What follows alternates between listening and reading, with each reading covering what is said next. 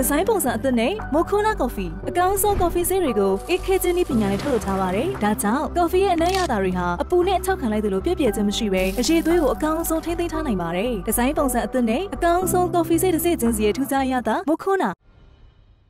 မဟုတ်မဟုတ်အမလက်မကဒီမှာအမကလေဒီမှာကြီးအမကလေစာမတက်ဘူးနှစ်တန်းပဲနေရတာအဲ့ကြတော့ကိုယ်တင်ငယ်သားလေးနဲ့ကိုဒီလိုလေးပဲထိုးတာ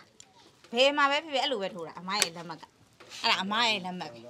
ကျွန်တော်တို့ကအဲ့လိုတိုင်လာပြူတာမရှိဘူးမတိုင်ဘူးမတိုင်ဘူးဆိုတော့ကိုယ့်ရွာကောင်းကျိုးအတွက်လာလုပ်တယ်လို့ကျွန်တော်တို့ကတိုင်လာကျွန်တော်တို့မဟုတ်ဘူးကျွန်တော်တို့လက်မှတ်ထိုးအတူလေးနဲ့တိုင်ကျွန်တော်လက်မှတ်ထိုးမဟုတ်ဘူးဟုတ် NLD အမတ်တူကို UTB တိုင်ကြားထားတဲ့တိုင်စာတစ်စောင်နဲ့ပတ်သက်လို့ ဒီတိုင်စာဟာသူတို့တိုင်တာမဟုတ်တလို့တိုင်စာမှာပါတဲ့လက်မှတ်တွေဟာလည်းအတုတွေဖြစ်ကြောင်းကိုရွာသူရွာသားတွေကသက်သေပြကြပါတယ်။ပြီးခဲ့တဲ့ဩဂုတ်လ15ရက်နေ့ကနေပြည်တော်ဒက္ခိဏသီရိမြို့နယ်စိုက်ခင်သုံးကျေးရွာကပုံမှန်ဝင်ငွေမရှိသူတွေကိုထောက်ပံ့ကြေးလာပေးတဲ့ NLD အမတ်ဦးတန့်စင်ထွန်းကိုလူစုလူဝေးလုံးမှုမဲဆွယ်စီယုံရေးလုံးမှုနဲ့အဲ့ဒီရွာသား100တဦးကလက်မှတ်ထိုးထားတဲ့တိုင်စာမိတ္တူတစ်စောင်ဟာ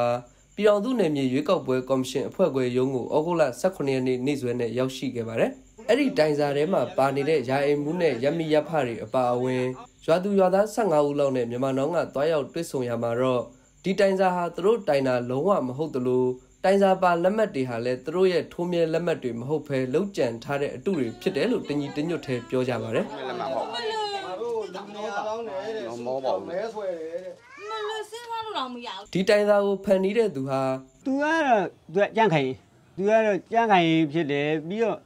ကျွန်တော်တို့ကရမရဖတဲ့ဟိုသူ့ကိုထည့်ထားတာဦးကျော်ကျော်ဟာကျေးရွာရမီရဖတချို့ကိုဩဂုတ်လ18ရက်နေ့ကဒက္ခိဏသီရိမြို့နယ်ပြည်ခိုင်ဖြိုးပါတီရုံးကိုခေါ်ယူပြီး NLD အမတ်ဦးတန့်စင်ထွန်းကိုတိုင်ဖို့လက်မှတ်ထိုးခိုင်းခဲ့တဲ့အတွက်အားလုံးလက်မှတ်မထိုးဘဲပြန်လာကြတယ်လို့စိုက်ခင်သုံးကျေးရွာရဲ့ရမီရဖတူဖြစ်တဲ့ဦးကျူစိန်ကပြောပါတယ်ခေါ်သွားတာတော့သူကဘာအကြောင်းလောလောဆယ်တော့ဘာအကြောင်းပြဟိုကြမ်းမှသိတယ်လေဟိုကြမ်းမှအဲ့စာရွက်ကိုထုတ်ပြတယ် ထုတ်ပြပြီးတော့ဖတ်ပြီးတော့သူကဟိုကိုလည်းနည်းနည်းပါးတော့ဖတ်လိုက်တာပေါ့ကိုတော့မဖတ်ဘူးအဲ့ဒါလက်မှတ်ထိုးခိုင်းတယ်လက်မှတ်ထိုးခိုင်းတာနဲ့အဲ့ဒါဒုညောက်ကမထိုးဘူးဆိုပြီးတော့ပြန်လာခဲ့တာသူကလူစုလူဝေးပေါ့ဒီမှာသူကဥသန်းစင်ထုံးနဲ့ဒီအုပ်ကိုကြောရက်ကြီးဥက္ကဋ္ဌပေါ့ဥက္ကဋ္ဌကနေပြီးတော့စံရက်စက်နဲ့អော်ခိုင်းတယ်လူ200ခန်းလောက်ဖြစ်လာတယ်ပေါ့အဲ့ဒါကိုသူကလူစုလူဝေးနဲ့တိုင်မယ်အဲ့လိုပြောတာ လွတ်တော်အမတ်ဦးတန့်စင်ထွန်းကိုလူစုလူဝေးလုံးမှုနဲ့တိုင်ကြားထားတယ်လို့ဦးကျော်ကျော်ကအတီးပြုတ်ပေမဲ့လူတရားတူပါတဲ့တိုင်စာကိစ္စကိုသူမသိတယ်လို့သူဟာပြည်ခိုင်ဖြိုးပါတီရဲ့ကျေးရွာစီယုံရေးတာဝန်ရှိသူမဟုတ်ဘူးလို့လည်းညင်းဆိုပါတယ်အာဟုတ်တယ်ခင်ဗျာကျွန်တော်တိုင်ထားတယ်ခင်ဗျာဒါလူစုလူဝေးလည်းဖြစ်တယ်သူတို့ထုတ်ထားတဲ့အမိန့်ဒီဇန်နာလည်းဖြစ်တဲ့အတွက်ကျွန်တော်တို့ကဒါခုနေလောက်ရခြင်းဖြစ်ပါတယ်ခင်ဗျာလူအများကြီးပါတာကျွန်တော်တို့တိုင်ထားတာမဟုတ်ပါဘူးねကျွန်တော်တိုင်ထားတာမဟုတ်ဘူးဆိုတော့ကျွန်တော် မသိပါဘူးခင်ဗျာမသိဘူးဆိုတာကျွန်တော်ဒီလက်မှတ်ထိုးရတယ်လည်းကျွန်တော်တို့မသိဘူးထောက်ပံ့ကြေးလာပေးတဲ့နေ့ကတိုင်စာမှာပါတယ်လို့လူဦးရေ200လောက်စုဝေးမှုမရှိခဲ့သလိုလာမယ့်ရွေးကောက်ပွဲမှာဒက္ခိဏသီရိမြို့နယ်ကနေထပ်ပြိုင်မဲ့ဦးတန့်စင်ထွန်းအနေနဲ့လည်းမဲဆွယ်စည်းရုံးရေးစကားမပြောခဲ့ဘူးလို့စိုက်ခင်သုံးကျေးရွာရဲ့ရာအိမ်မှုဦးထေးကျော်ကပြောပါတယ်စိုက်ခင်သုံးရွာသူတူဖြစ်တဲ့ဒေါ်သူစာကလည်းကိုယ့်ရွာကိုထောက်ပံ့ကြေးလာပေးတဲ့သူကိုဘာကိစ္စနဲ့မှတိုင်စရာအကြောင်းမရှိဘူးလို့ဆိုပါတယ်ဒါကကြတော့အမတို့ကကိုယ့်ရဲ့ကျေးရွာကိုလာထောက်ပတ်တဲ့